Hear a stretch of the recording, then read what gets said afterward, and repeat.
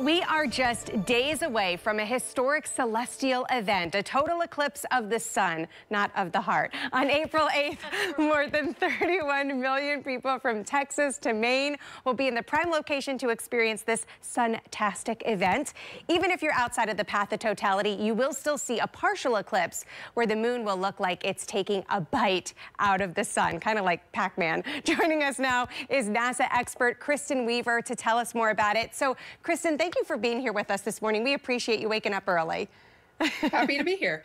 um, so let's talk a little bit about the eclipse. I mean, what can people expect? We're not in the path of totality. So what are we going to be seeing in our area?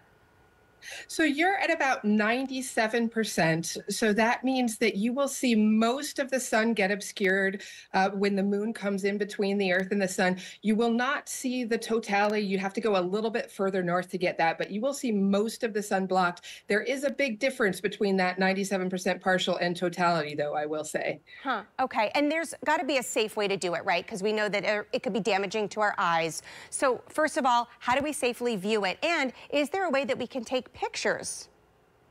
Yes. So uh, make sure that you have solar viewing glasses, you know, some of these special glasses that you can see that have the right ISO standard on them. And that's the only way to look at the sun safely during any of the partial phases. And you can actually use those same glasses and cover your uh, your cell phone lens. If you have a regular camera or a telescope, you will need a, an additional special filter.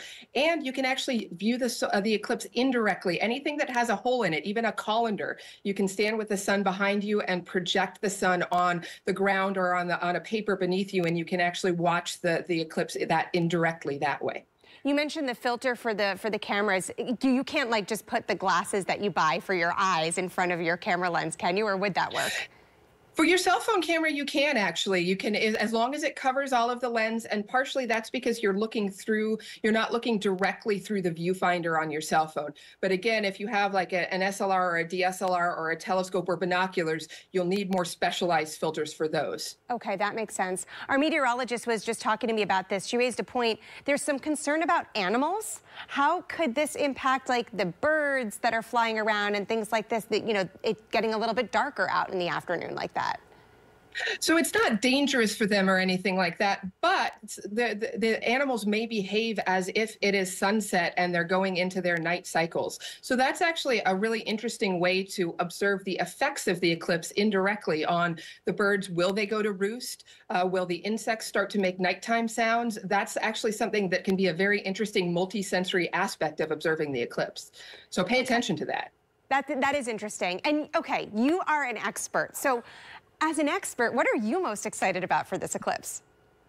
Well, so I'm, I'm I'm in earth science, so I'm actually really focused on some of the effects of this the, the the eclipse on the Earth's atmosphere. My citizen science project that I worked for, we're asking people through the Globe Observer app to make observations of clouds and air temperature. There's also uh, we're they're they're sending uh, rockets and uh, aircraft through the ionosphere and looking at the effect of the eclipse on the atmosphere. So that's what I'm most interested about. How does it affect us? Although it's an amazing event, it's going to be wonderful to observe too.